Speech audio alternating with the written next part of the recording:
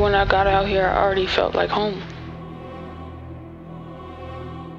Everybody's so comfortable with me now, and they're like family.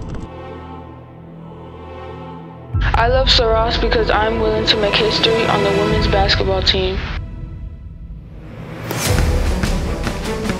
I love Sul Ross because of my coaches.